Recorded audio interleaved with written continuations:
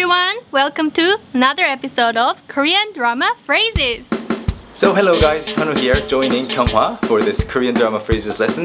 Kyunghwa-shi, 네. so what kind of phrase are we introducing today? Mm -hmm. Today's phrase is 찬밥 더운 밥 가릴 때야 지금 So to give you the translation it means you're in no position to make a choice or you have to accept whatever you receive or whatever you're given, right? Yes.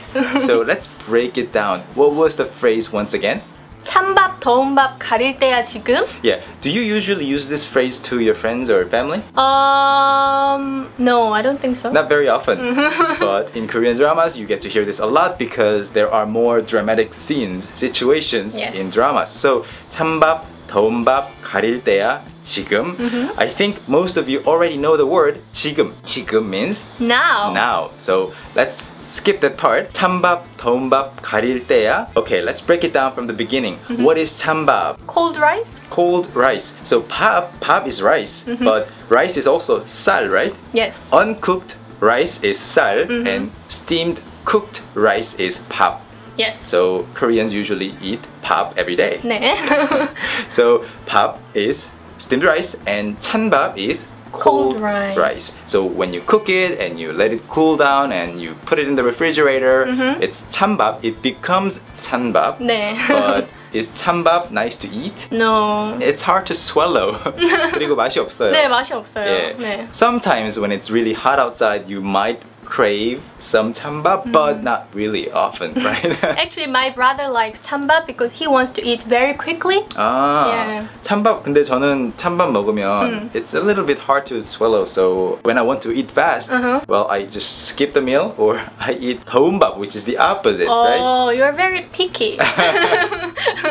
Okay, so we had chambap explained, and the following word is 더운밥. I just said it. 더운밥. yeah, 더운밥 means warm rice. warm rice, hot steamed rice, fresh cooked rice.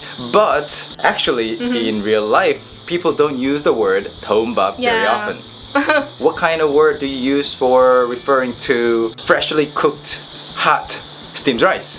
뜨거운 밥. 뜨거운 밥. Yeah, not 더운 밥 because 덥다 is like ah 더워. Yeah, it's so hot. Yeah. We're using 더운 밥 here to refer to the rice, but in everyday situations, you use 더운 밥. No, 덥다 to refer to the weather. Yes. Usually it's 더워요 for the weather and 뜨거워요 for things that you can touch. yes. The temperature of things. So 뜨거운 밥, 뜨거운 밥. 찬밥 versus 뜨거운, 뜨거운 밥. But in this phrase, for some reason, people say 찬밥, 더운 밥. Maybe because 뜨거운 밥 is one letter longer.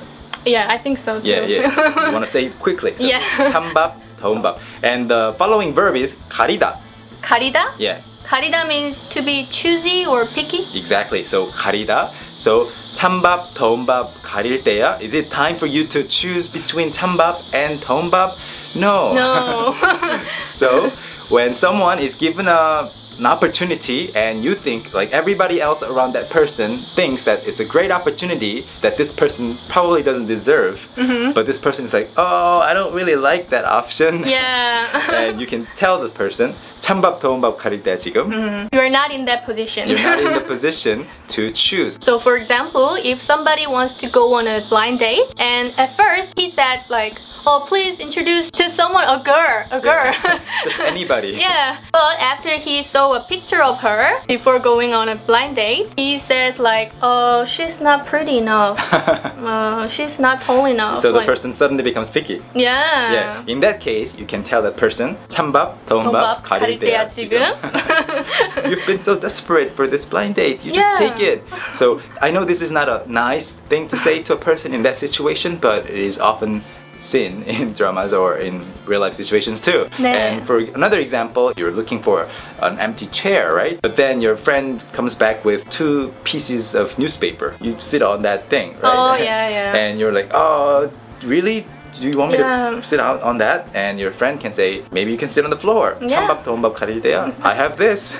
you have no choice. okay. So in those situations, you can use the expression, please remember and practice as well. Okay, so that's pretty much it. We will see you in the next video. Yeah, we'll see you next week. Bye. Bye.